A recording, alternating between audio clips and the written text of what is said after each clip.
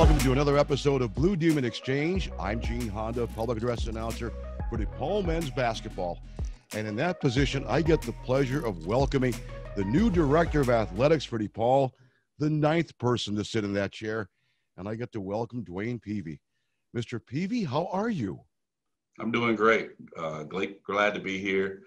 Um, excited about the start. I'm almost a month in and uh, can't wait to get many more. So when was your first day on the job?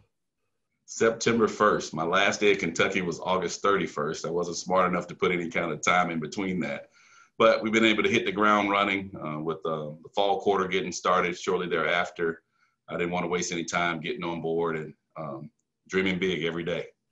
So, how's the adjustment been for you? And how's it been for your family, or are they here yet?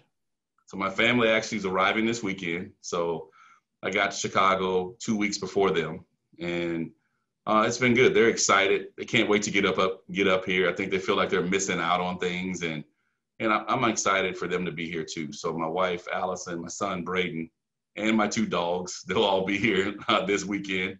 I'm staying across the street at the University House for now, temporarily until uh, we f- close on our house here. We're staying in. We got we got a house in Lincoln Park, a condo in Lincoln Park, uh, so we'll be nearby and we just can't just can't wait to be full on Chicagoans. So, you know, everyone has an idea of what they want to do first when they get a new job.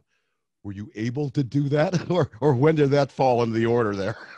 The good thing is that I wrote things down and I had a plan to make sure I followed it the way I wanted to. So the first thing was starting one-on-one meetings. Um, and in the pandemic, that's a little different during that.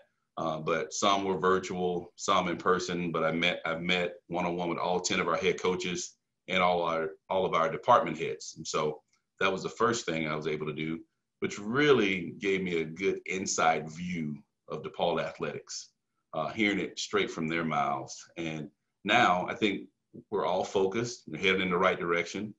Now it's time to expand those meetings to the rest of the staff to some of our external constituents. I've already started meetings with alums, some of our supporters, and you know do a little bit of friend raising along with fundraising. And so it's uh, it's been a good start and uh, just integrating ourselves fully into the campus. One of the things you said during your press conference was the phrase "dreaming big." Now, is that a mantra? Is that a marketing slogan, or somewhere in between, or both? I don't know. Well, there was no pre-plan to talk about that, but it really signifies who I am. Um, I think one of the things I've learned in my time in college athletics is as I've advanced in my career in athletic administration, it was being a big picture thinker. It's probably what got me a chance to be in this seat today. And it's what drives me. Um, it's one of the reasons I wanted to come to DePaul, and uh, hopefully it's one of the reasons they chose me. And I think all of the incredible things that you know, Jeannie was able to accomplish here, not just in her 18 years in this seat, but in her 45 plus years at DePaul, uh, unbelievable track record of success. And so for me to come in to follow that, what's the challenge? And, you know, it's not the same as where you're going to some places where it's broken and you got to fix things. So my goal and my charge is, as I mentioned before, is to take the baton for her, be that anchor leg, and let's go set a world record. So really dreaming big, thinking about, okay, let's just take a different outside look of what else and what our next steps are at DePaul. And um, so my vision is that. And so I'm trying to put together a dream team so we can really focus on what's the next step of our future and how that looks for DePaul athletics. Because in one of your first interviews that you did when you accepted the position, you said in talking with some other people, that there were some wonderful parts of DePaul that attracted you to the position. Right. What were some of those parts?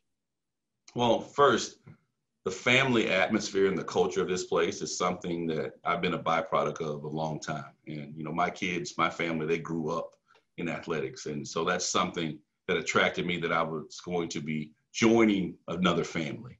And so, one, it probably made them feel a little more comfortable with me too, from a staff standpoint. Two, Chicago. I've never spent any summer in Chicago. I've come to Chicago numerous times, love the city, but never been here during the summer. And so all these visits here during the summer gave me a new perspective of why people love it here so much.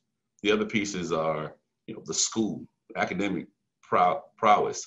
I never knew as much about DePaul, and so I started researching the job. And I told uh, President that we probably got to brag a little more about what's going on here on our campus and using that in recruiting. I've already talked to some of our coaches and said, you don't realize this is not normal, the success that you're able to have on this campus. We need to talk about that more.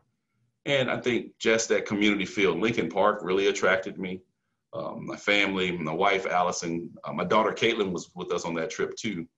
Uh, we kind of snuck on the Lincoln Park campus the 4th of July weekend. This is before I even formally, I guess, applied for the job. And it, it just spoke to us. It felt like home. And then at that point, I was just hoping things would play out uh, to where I could be here one day you know, you say snuck onto campus, but in many ways, that's a great way to find out more about a university is having someone who's either in school or eligible to go into school and get their opinion, right? Right. I think Caitlin was a little upset. She's a freshman at Kentucky State at Frankfort right now. She said you would be looking at a job like this at this place in a big city, which she loves, when I've just decided to go to school elsewhere.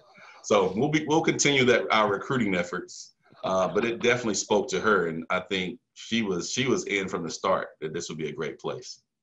Well, we're going to have time to find out more about the director of athletics, but now we like to find out about DeWayne Peevy. Okay. So we like doing rapid fire. I'm going to put 30 seconds on a clock, oh and then ask as many questions as I can jam in in 30 seconds. Are you ready? I'm ready. All right, here we go. Cats or dogs? Dogs. Morning person or night owl? Night owl. Okay. Iced coffee, hot coffee, tea? Iced coffee. Ketchup or mustard? Ketchup, for sure. You have to talk about hot dogs for that then. Uh, thin crust or deep dish? Ooh, I really like both. A little bit of both. All right, try this one then. Beer or wine? Beer. Summer or winter? Chicago summer. You know, that's true because you haven't seen a Chicago winter yet. summer, summer where I'm from in Alabama wasn't the greatest. So. well, it depends. Uh, do you equate summer with being humidity season too? yeah, that's the thing. It's a little negative. So, as I said, we're going to have a chance to be able to hear more about the director of athletics and the future of athletics, and we'll do that in our next segment. So, thank you to DeWayne Peevy, and we'll see you on our next episode of Blue Demon Exchange. Thanks, Gene.